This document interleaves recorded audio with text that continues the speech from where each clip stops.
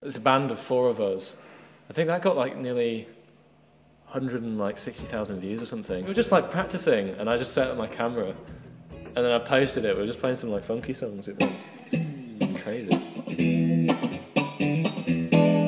Hi everybody, my name's George Collins, and I'm a guitarist from Settle in North Yorkshire. I post a lot on Instagram, YouTube, and Facebook, and I go to Berklee College of Music in the USA.